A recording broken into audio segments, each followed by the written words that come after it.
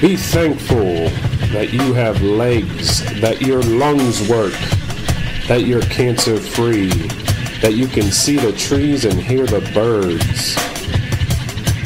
Be thankful for laughter, for tears, for kisses, for breakups and new love.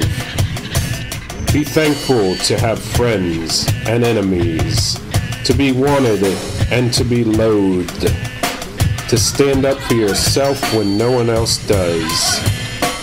Be thankful for alcohol, for drugs, for cigarettes and for hangovers, and for the bottom in sobriety.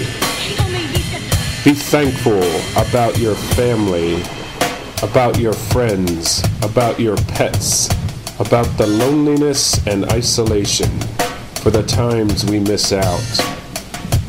Be thankful in good times and in bad, for better or for worse, in all things that bring us up and tear us down.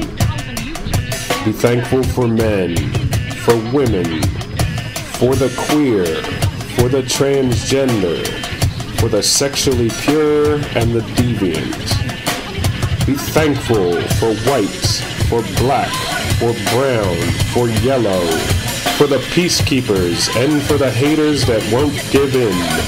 Be thankful for God, for Jesus, for Muhammad, for whoever you see as the one, for the right to worship.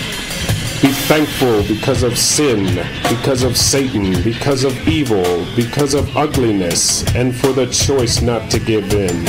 Be thankful for hope, for grace, for true love, and for people, and for the fact we aren't dead yet. Thankful.